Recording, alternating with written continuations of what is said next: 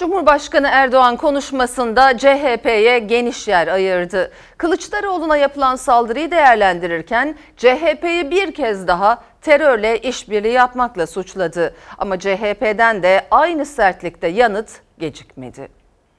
Kimse bize şehit cenazelerine gitmeyin demeye cüret edemez. Çubuk'taki o vatandaşlarım zaten yaralı. Onları taciz edeceksin. Ardahan'da, şurada, buradaki yolculukta teröristlerin saldırısına uğramışsın. Onlarla eş duruma getireceksin. Kol kola gezdiklerin sana saldırdı. Başkası saldırmadı.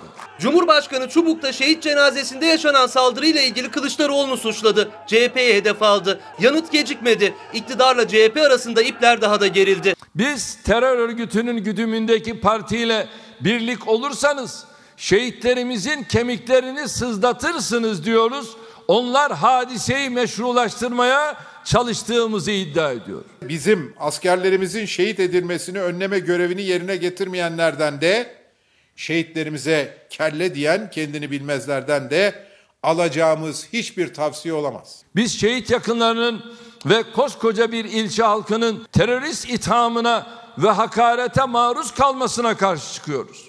İktidarın bu suçu sıradanlaştırmaya, basit bir protesto gibi göstermeye çalışması masum değildir ve suçluların telaşını yansıtmaktadır. İftira atma, yalanlar üzerinden kampanya yürütme bunların işidir. Cumhurbaşkanı Kızılcahamam kampında konuştu. CHP sözcüsü Öztrak anında yanıt verdi. Şehit cenazesinde yaşanan saldırı üzerinden iki parti de kılıçları çekti. Bizlere gözdağı verebileceğini sanan gafillere bu partinin köklerinin Kuvayi Milliye'ye dayandığını ve genel başkanımızın koltuğunun ilk sahibinin Mustafa Kemal Atatürk olduğunu hatırlatırız.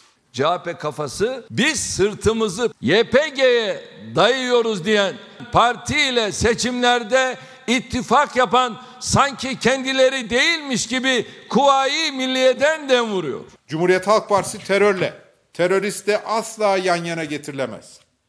Ama iktidarın bugüne kadar terörle, teröristlerle herkesin gözü önünde yaptığı işbirlikleri onları her zaman ve her yerde takip edecektir. Terör örgütlerinin ve darbe teşebbüslerinin hedefi olan AK Parti'yi aksi iddialarla suçlamak ise hezeyanın ta kendisidir.